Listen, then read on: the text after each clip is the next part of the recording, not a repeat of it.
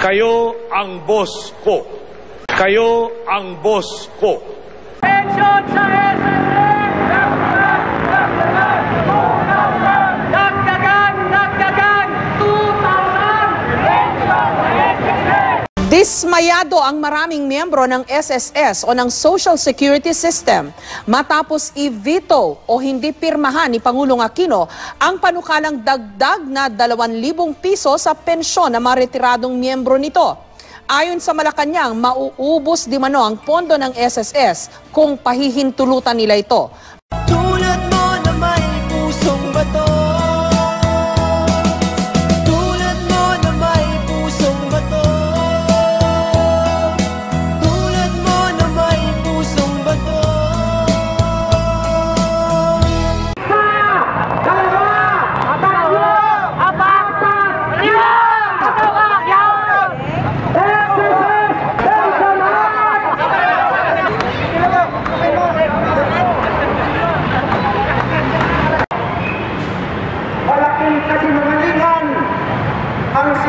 Sinasabi ni Aquino na mababang crop ang SSS Fund kapag itinatupad ang dagdag na dalawang libo na pensyon sa 1.9 milyon mga pensyonadong mga SSS.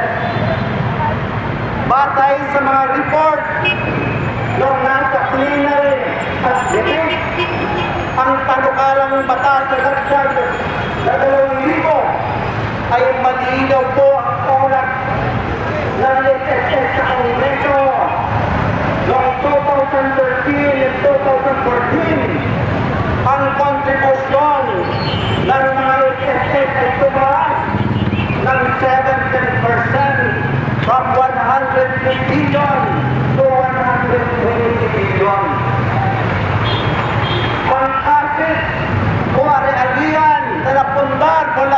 member o premium ng mga manggagawang Pilipino ay tumaas ng 11% from 384 billion naging 427 billion.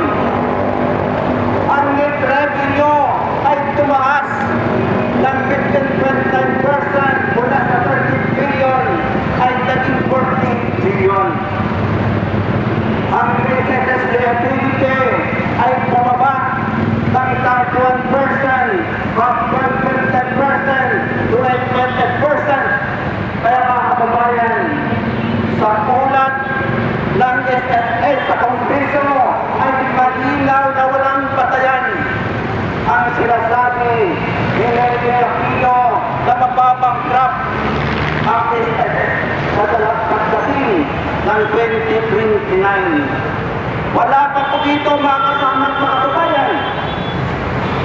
Ang revenue ang collection average ng SSS premium ay nasa 38% lamang or mga 60% ng SSS premium ay hindi nakakolekta o hindi nire-remit ng mga employer na kinakaltas ito sa mga manggagawang Pilipino sa ating bansa.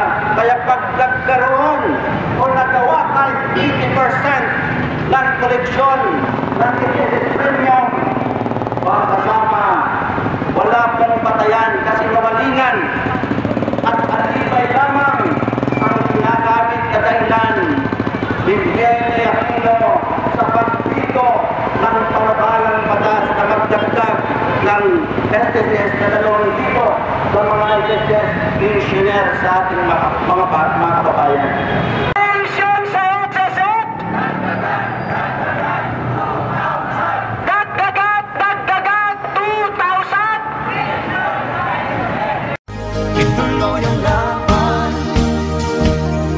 Ituloy ang laban.